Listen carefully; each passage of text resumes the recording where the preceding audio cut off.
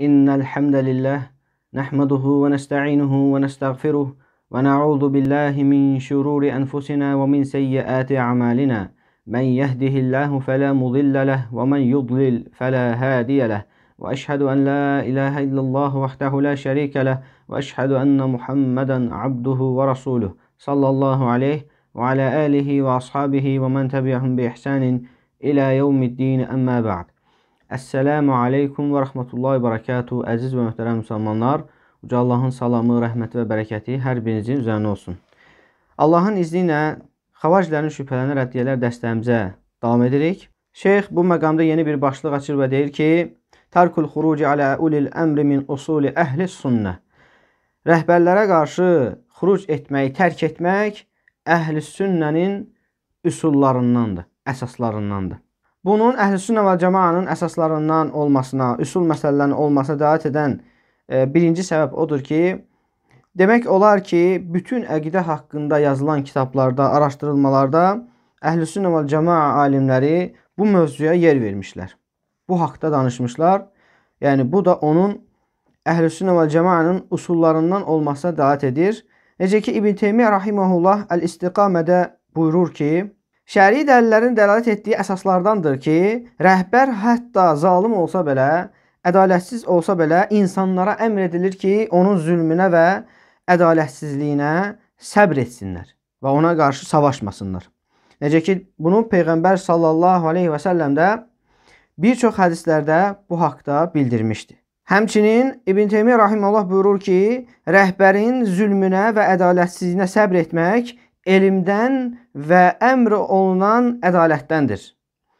Belə ki, bu əhlüsünnə vəl cəmaanın usul məsələlərindəndir, əsaslarındandır. Necə ki, Peyğəmbər sallallahu aleyhi və sələm də bu haqda bir çox məşhur hədisləri vardır. Necə ki, Peyğəmbər sallallahu aleyhi və sələm buyurur ki, siz məndən sonra, siz məndən sonra ədalətsiz rəhbərlərlə qarşılaşacaqsınız və mənimlə hovuzun başında görüşənədək səbr edin. Hovuzun başında mənimlə görüşənədək səbr edin. Bunu da Buxari və Muslim rəvayət etmişdir. Həmçinin başqa bir hədisdə Peyğəmbər sallallahu əleyhi və səlləm buyurur ki, kim öz rəhbərindən xoşuna gəlməyən bir şey görərsə, ona səbr etsin. Bunu da Buxari və Muslim rəvayət etmişdir. Və bu misildən, bu babdan hədislər həqiqətən çoxdur. Onlardan bir də budur ki, Peyğəmbər sallallahu əleyhi və səlləm buyurur ki, onların haqlarını ödəyin, sizin üzərinizdə olan haqlarını verin və öz haqqınızı isə Allahdan istəyin. Bunu da Buxari və Müslim rəvayət etmişdir. Yəni bu cür hədislər həqiqətən çoxdur və bu da İbn Teymiyyə rahimehullah deyir ki, bu da ona da edir ki, bu Əhl-i-Sünnə vəl Cemaanın usul məsələlərindəndir, əsaslarındandır. Daha sonra Şeyx Abdülməlik Ramazani Hafizullah deyir ki, e, mən bütün Əhl-i-Sünnə vəl Cemaaya aid olan o kitablardan bu məlumatları hamısını buraya cəm etməyi mümkün deyil. Çünki bu həddindən artıq bunların sayı çoxdur. Sadəcə deyir mən oxucu üçün e, bu 4 məzhəbə aid olan alimlərdən e, bəziləri bəzi nümunələr qeyd eləyəcəyəm və tərk etdiklərim isə, yəni qeyd etmədi etmədiklərim isə həddindən artıq bundan qat-qat çoxdur. Onlardan birincisi İbn Teymiyyə rahimehullah Məcmul Fətavada deyir ki, Hişam Muhammeddən Muhammed də Əbu Hanifə və Əbu Yusufdan rəvayət edir ki, onlar belə deyirlər. İnsanların üzərində olduğu sünnət odur ki, insanların üzərində olduğu yol odur ki, onlar qiblə əhlindən heç kimi günaha görə təkfir etmirlər. Yəni günaha görə e, qiblə əhlindən heç kim təkfir edilmir və İslam dinindən çıxarılmır. Və həmçinin insan bir insan öz dini haqqında şəkk etmir. Yəni demir ki, mən bilmirəm, mən möminəm yoxsa kafirəm. Yəni bu insanın öz dinində şəkk etməsidir. Yəni bu sözün deyilməməsini deyirlər. Yəni ki, bu icazəli deyil ki, bir insan desin ki, mən bilmirəm, mən möminəm yoxsa kafirəm.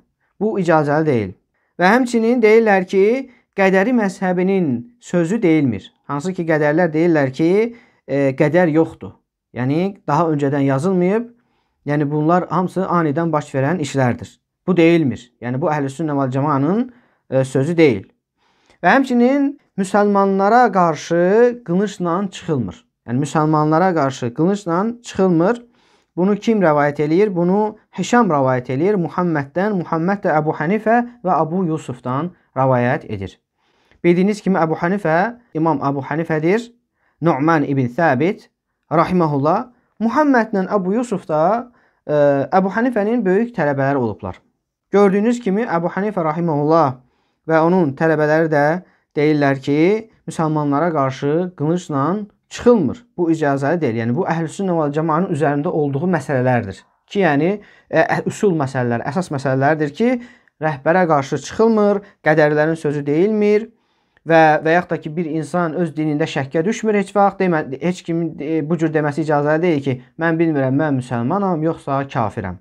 Və həmçinin e, günaha görə ə, əh, İslam əhlindən heç kim təkfir olunmur, dindən çıxarılmır. Hansı ki, bu da xavariclərin əməlidir ki, onlar böyük günahlara görə e, müsəlmanları təkfir edirlər, onlara kafir deyirlər. E, daha sonra isə onlara kafir müamiləsi edirlər, qanlarını, canlarını, mallarını halal görürlər.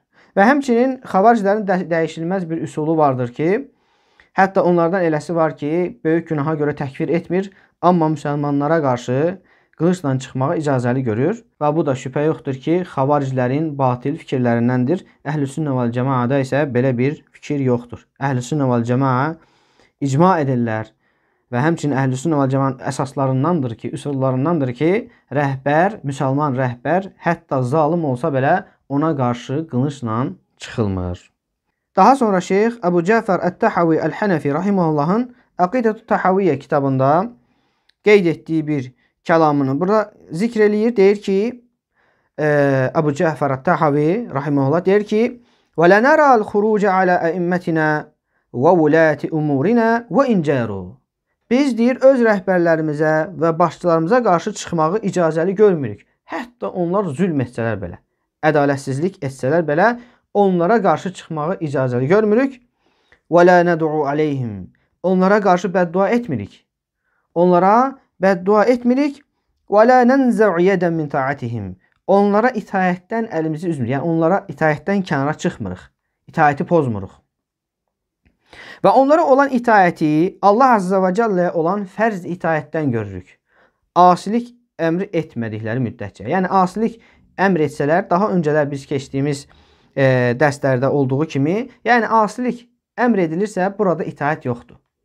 Bu hər bir kəsə aiddir. Rəhbərə də aiddir, valideynə də aiddir, müəllimə də aiddir, dosta, tanış, hər kəsə aiddir bu. Yəni əgər sənə asilik əmr edirsə, burada itaət yoxdur. Yəni ona itaət etmirsən, həmin Allaha qarşı asiliyi yerinə yetirmirsən. Amma bu o demək deyil ki, əgər asilik əmr edirsə, hər hansı bir asiliyi, artıq sən ona qarşı çıxmalısan, itaətdən kənara çıxırsan və s. Xeyr, o yenə də sənin rəhbərin və məsəl üçün valideyninsə valideynin, müdürünsə müdürün və s. Yenə də o cür hesab olunur. Sadəcə sən həmən o asiliyə neysən? İtaət etmirsən. Və onlar üçün biz işlərinin doğru getməsini və afiyyət diləyirik. Doğruluq, işlərinin doğru olması, düzəlməsi və afiyyət diləyirik. Yəni dua edirik onlar üçün. Əvvəldə nə deyir? Bəddua etmirik. Onlara qarşı bəddua etmirik. Əksinə nə edirik? Onlar üçün dua edirik. Onların hidayəti üçün, onların doğru yolda olması üçün, onların qəlblərinin e, daha da islah olması üçün nə edirik? Dualar edirik ki, hətta müsəlmanların işləri daha da doğru yoluna getsin, işi, işləri düzəlsin. Daha sonra İbn Əbi Zəməneyn Əl-Maliki rahimehullah Usul-us Sünnə kitabında deyir ki, Əhlüs-Sünnənin sözündəndir ki, sultan yer üzərində Allahın kölgəsidir. Allahın yer üzərindəki kölgəsidir və kim öz üzərində istər yaxşı və ya günahkar olsun, öz üzərində bir sultan, rəhbər görmürsə, yəni rəhbəri qəbul etmirsə, istər bu günahkar rəhbər olsun və yaxud da ki, yaxşı bir rəhbər olsun, o artıq sünnəyə müxalifdir. O cür insan sünnəyə müxalifdir. Çünki deyir Allah Azza və Cəllə buyurur ki: "Ya eyyuhellezine amenu ati'ullaha və ati'ur rasulə və ulil əmri minkum." Nisa surəsi 59-cu ayə. Çünki deyir Allah Subhanahu va Taala buyurur ki: "Ey iman gətirənlər, Allaha və onun elçisinə itaat edin, həmçinin özünüzdən olan rəhbərlərə də itaat edin." Daha sonra bu ayəni təfsir edərək deyir ki: "Fəs-səmu və ta'atu li vulatil əmri əmrun vacibun." Əmr sahibinə, yəni rəhbərə eşidib itaat etmək vacib bir işdir. Bu nədir? Vacib bir işdir. Onlar nə qədər də öz üzərlərinə düşən işlərdə nöqsana yol versələr də, onlar haqqa yönəldilir, haqqa dəvət edilir, buna yönləndirilir və onların e, üzərinə düşən öz məsuliyyətləridir və əhalinin isə üzərinə düşən eşidib itaət etmək məsuliyyətidir. Yəni bunların hərəsinin öz məsuliyyəti var.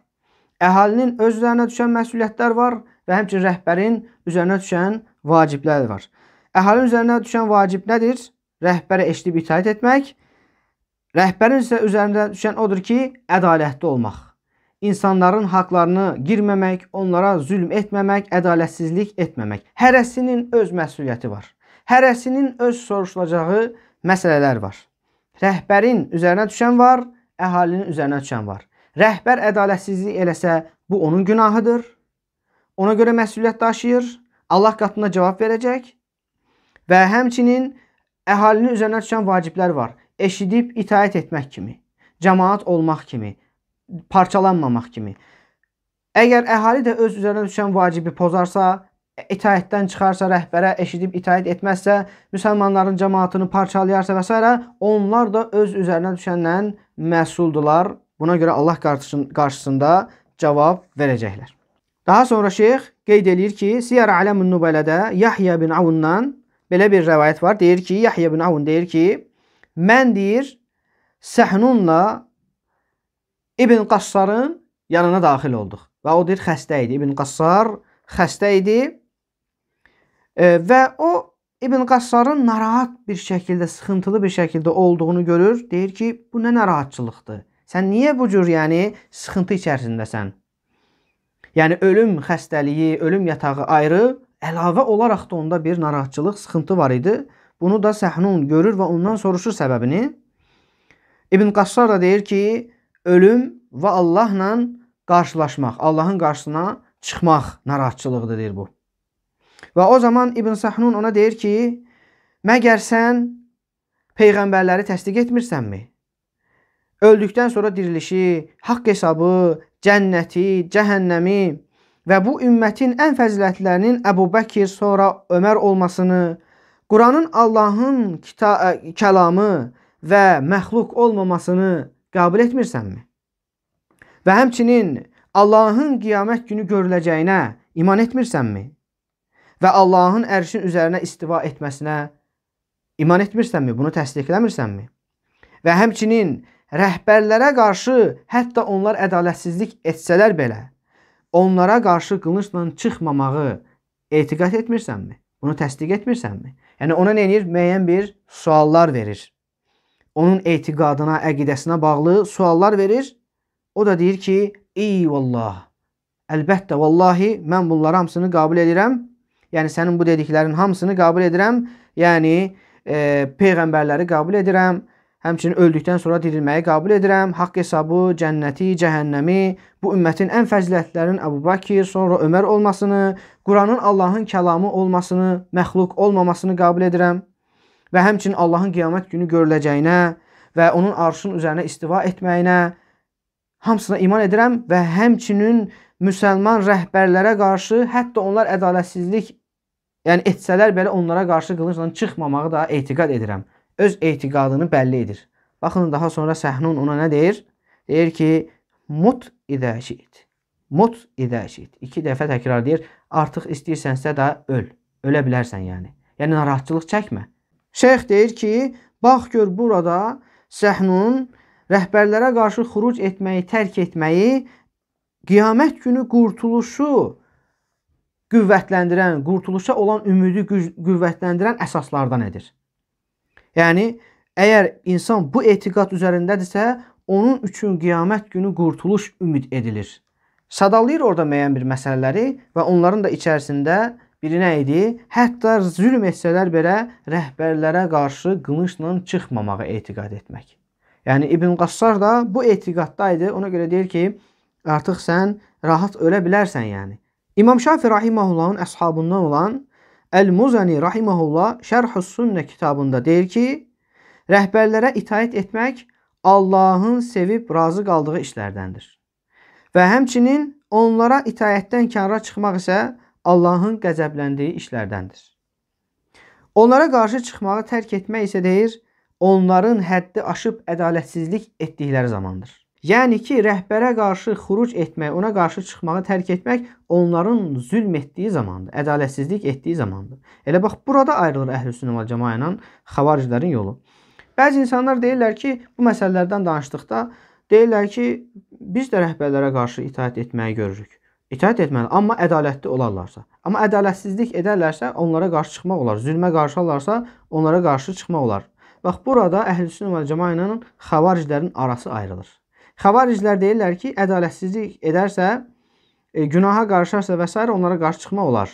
Amma Əhlüsünnə və Cəmaə deyir ki, ə, ədalətsizlik etsələr də, zülmə qarışsalar da onlara itaat etmək lazımdır və bu Əhlüsünnə və Cəmaənin əsaslarındandır. Necə ki, ə, gördüyünüz bu nümunələrdə də ə, bu açıq-aydın bildirilir sələflərdən.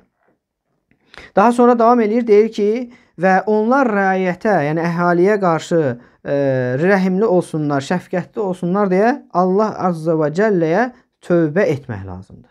Allah azza və cəllə tövbə etmək lazımdır ki, Onlar öz əhalilərinə qarşı ədalətli və şəfqətli, rəhimli olsunlar.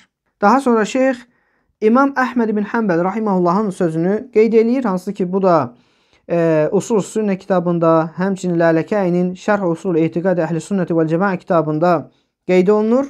Deyir ki, rahimehullah, kim müsəlmanların rəhbərliyini, xəlifəliyini qəbul etmiş bir şəxsə qarşı çıxarsa, İstər bu rəhbər, bu xəlifə razılıq və ya qələbə yolu ilə həmən məqama gəlmiş olsun. Kim ona qarşı çıxarsa artıq o müsəlmanların birliyini parçalamışdır və Peyğəmbər sallallahu aleyhi və səlləmdən varid olan əsərlərə müxalif olmuşdur. Əgər o həmən bu cür qarşı çıxdığı bir halda ölərsə, cahiliyyə ölümü üzərə ölər və insanlardan heç birisinə halal deyil ki, rəhbərə qarşı çıxsın, onunla savaşsın. Kim bunu edərsə, fahuwa mubtadi'un ala ghayri sunnati wat tariq. Kim bunu edərsə, o bidətçidir və doğru yol və sünnət üzərə deyil. Kim ki, yəni rəhbərə qarşı çıxarsa, onunla savaşarsa, o bidətçidir deyir. Bunu deyən kimdir? İmam Əhməd rahimahullahdır. Sonra şeyx İmam Əhməd rahimehullahın əshabından olan İmam Ətrum rahimehullahın Nasixul Hədis və Mənsuxihi adlı kitabında qeyd etdiyi sözünü deyir. İmam Ətrum rahimehullah deyir ki, Peyğəmbər sallallahu aleyhi və səlləmlə, daha sonra səhabələrdən və onlardan da sonra gələn imamlardan çoxlu bir şəkildə rəvayətlər vardır ki, onlar rəhbərlərə qarşı çıxanları sevməzdilər və həmçinin onlara qarşı çıxılmamasını əmr edərdilər və özlərinə bu məsələdə müxalif olanları sünnəni parçalayanlara və sünnəni tərk edənlərə və həmçinin Həruri məzhəbinə tabe olanlara e, nisbət edərdilər. İbn Teymiyyə rahimehullah İstiqamə kitabında deyir ki, Peyğəmbər sallallahu aleyhi və səlləm rəhbərlərə qarşı hətta onlarda zülm olsa belə savaşmağı qadağan etmişdir. Bu da ona görədir ki, Çünki onlara qarşı çıxmaqda, onlara qarşı savaşmaqda olan fəsad onlarda hal-hazırda olan zülmün fəsadından daha böyükdür. Yəni sən əgər rəhbərlərə qarşı çıxarsansa, onlarla savaşarsansa, hal-hazırda olan zülmdən daha böyük bir zülm, hər hal-hazırda olan fəsaddan daha böyük bir fəsad ortaya çıxacaq. Və Peyğəmbər sallallahu əleyhi və səlləm buna görə də bunu qadağan etmişdir. Və bəzi insanların başa düşmədiyi və ya başa düşmək istəmədiyi məqam da məhz burasıdır. Bizim şəriətimiz pak və kamildir. Əgər bir şey bizim şəriətimizdə əmr olunubsa, deməli bunun bir səbəbi var, bir hikməti var. Hətta biz bilməsək belə. Və yaxud da ki, qadağan olunubsa, deməli bunun da bir hikməti var. Hətta biz bunu bilməsək belə. Bizə düşən, bizim üzərimizə düşən şəriətin qayda qanunlarına riayət etməkdir, təslim olmaqdır. Elə qayda qanunlar var ki, elə əmrlər, qadağalar var ki, biz bunu başa düşürük hikmətini. Eləsi var ki, başa düşmürük. Yenə də deyirik, əgər Allah Subhanahu va Taala'dan gəlirsə, deməli bu haqqdır, biz bunu qəbul edirik. Qeybə də iman edirik. Halbuki biz bunu şahid olmamışıq, düzdürmü? Qeybə iman gətirmişik. İndi bu məsələyə gəldikdə isə burada fəsad açıq-aydındır. Tarix boyu bu görülüb. Tarix boyu dəfələrlə, yüzlərlə dəfə bəlkə də rəhbərlərə qarşı xuruclar edilib, üsyanlar edilib, qarşı çıxılıb. Heç birisində fəsad, yəni fəsaddan başqa bir şey olmayıb. Heç birisində xeyir olmayıb. Ancaq fəsad, qan tökülməsi, ölkənin zəifləməsi, parçalanması, müsəlmanların zəlil duruma düşməsi olub. Və məhz ona görə də rəhbərlərə qarşı çıxmaq qadağan edilir. Bu məsələnin önəmi olduğuna görə alimlər bu haqqda danışır. Bu məsələ müsəlmanların xeyrinə olan bir məsələdir. Rəhbərlərə qarşı çıxıldıqda, üsyanlar olduqda isə müsəlmanlar nə dinlərini doğru düzgün yaşaya bilirlər, nə də dünyalarını doğru düzgün yaşaya bilirlər və bu müasir tariximizdə də və daha öncəki tarixlərə baxdıqda da açıq, aydın biz bunu görürük. Sadəcə bizim üzərimizə düşən ibrət almaqdır və şəriətin qoyduğu sərhədlərdən kənara çıxmamaqdır. Bu çox mühümdür. Və bununla kifayətlənirik. Uca Allahdan dilərəm ki, bizlərə eşidib faydalanır etsin. Və subhanəkə Allahumma hamdik və əşhədu an la ilahə illə ənt və estəğfiruka və etûbu ileyk.